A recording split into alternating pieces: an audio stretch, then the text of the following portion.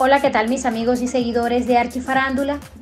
Les comento que para este capítulo 13 del desafío 20, el capítulo comenzó en la Casa Rosada con Campanita, Gaspar y Alejo, que comentan quiénes para ellos son los más bellos del desafío. Sin embargo, la integrante de Omega se sorprende cuando uno de sus compañeros destaca a una mujer de Alfa, ya que comentan que Gaspar parece un hombre. Los seguidores del desafío 20 están muy pendientes del estado de Gamboa, integrante de Omega, luego de que en el desafío de sentencia y servicios llegara cargada en brazos de sus compañeros al voz azul para informarle a Andrea Serna que no podía competir.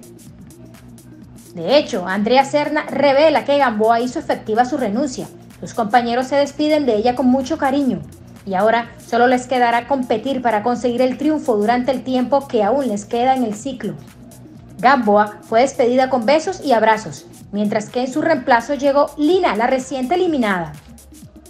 Mientras tanto se preparan los más fuertes para darla toda en la pista, pero solo serán los mejores quienes consigan ganar.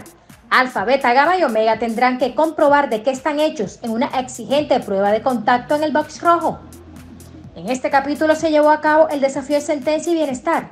Alfa, Beta, Gamma y Omega lucharon a muerte por el bienestar de la casa y no tener que dormir en el piso. Tres hombres y dos mujeres por equipo. Para ganar la prueba se requirió agilidad, fuerza, trabajo en equipo y mucha coordinación. Los ganadores fueron el equipo Alfa.